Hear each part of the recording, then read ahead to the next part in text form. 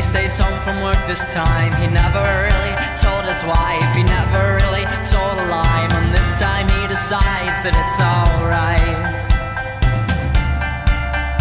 It's alright.